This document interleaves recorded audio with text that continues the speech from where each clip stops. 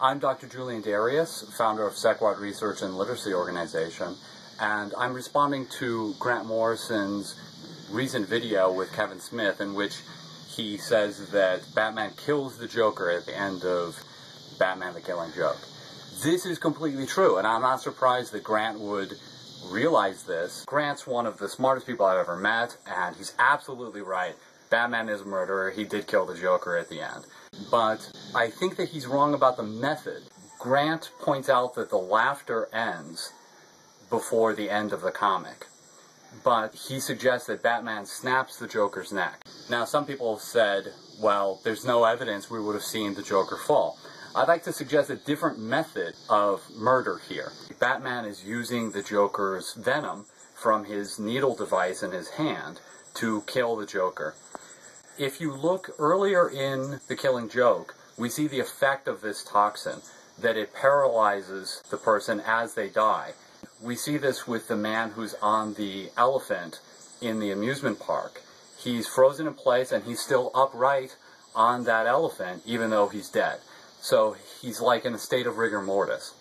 And this is what we see in the Joker. Not only does he stop laughing, but he actually freezes. So if you're wondering why does the Joker not fall, this is why. The Joker's already dead. He's just frozen in place. So when Batman hits the Joker, you have the Joker start laughing maniacally and then suddenly stop and he's frozen on his feet. You also see in the panel in between the Joker's hand goes out like this and is just like frozen in place, almost as if it's becoming stiff. And then you have a shot of his feet sort of stiffly positioned along with the rain and the water as you end the story. Now, earlier in the narrative, there's a weird page in which Batman's fighting the Joker and he kicks the Joker's needle out of his hand and he is hit on the head by a 2x4 and then he tumbles into a wall and he stops and he stares at his hand and it's like half the page in this fight scene, he's staring at his hand. Why is Batman staring at his hand in the middle of a fight scene for half a page? Nobody has remarked on this, and I don't know why. Now, just previous, Batman had kicked that needle out of uh, the Joker's hand. So, is it possible that he got that needle caught in his glove and he's staring at it, and then he turns and resumes the fight? Can you imagine? In, in the chaos of a fight, you lift up your hand and there's a fucking needle there, and you're like, there's my death. If that had been an inch to the left, I'd be dead now. And in fact, you see throughout the entire book, there are all these shots of discarded cigarettes, uh, Coke cans, stuff like that on the ground that kind of emphasizes that there are objects on the ground here and gets you thinking. It's possible that Batman has stumbled into that needle there's also a hand motif. You have all these hands, you have close-ups of hands. When Batman's researching the Joker, you just have his hands, his hands, his hands.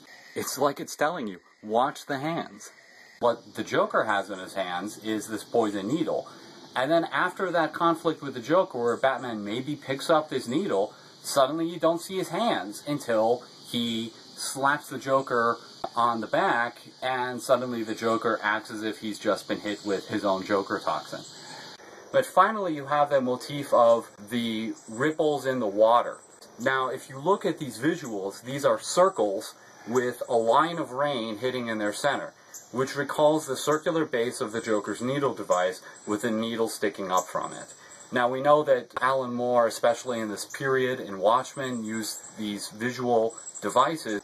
So the killing joke isn't only that Batman kills the Joker, it's also that the Joker wins that Batman has been driven to the end, he gives the Joker one final out. He says, uh, We're going to kill each other if this goes forward. I'm going to give you what might be your last chance. And the Joker's response is to tell a joke, which is about an insane man not being able to accept help, not being able to see a way out because of his position, because he is insane.